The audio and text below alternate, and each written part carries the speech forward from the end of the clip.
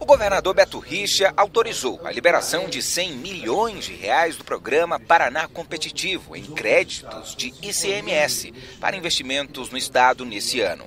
Além do governador, o secretário da Fazenda, Mauro Ricardo, do Planejamento, Silênio Pessoa e empresários participaram da solenidade. Representa mais uma ação do nosso governo para criar no estado cada vez mais um ambiente propício para investimentos, com segurança jurídica, com estabilidade política, com respeito a quem trabalha e quem produz no Paraná, gera riquezas, gera empregos à nossa gente, tem o apoio do nosso governo e programas qualificados. O Paraná Competitivo foi criado pelo governador Beto Richa em 2011 para atrair novos investimentos, gerar emprego e renda.